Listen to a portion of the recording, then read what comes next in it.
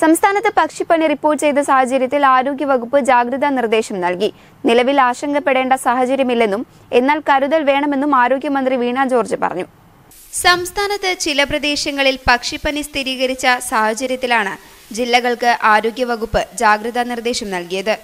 ആശങ്ക വേണ്ടെങ്കിലും കരുതൽ വേണമെന്നും പക്ഷിപ്പനി മനുഷ്യരെ ബാധിക്കാതിരിക്കാൻ മുൻകരുതലുകൾ ആവശ്യമാണെന്നും മന്ത്രി വീണ ജോർജ് പറഞ്ഞു. ആരോഗ്യവകുപ്പ് നൽകുന്ന മാർഗനിർദ്ദേശങ്ങൾ എല്ലാവരും പാലിക്കണം. രോഗബാധിത പ്രദേശങ്ങളിലുള്ളവരിലെ പനിയും മറ്റ് രോഗലക്ഷണങ്ങളും ആരോഗ്യവകുപ്പ് പ്രത്യേകം നിരീക്ഷിക്കുന്നുണ്ട്.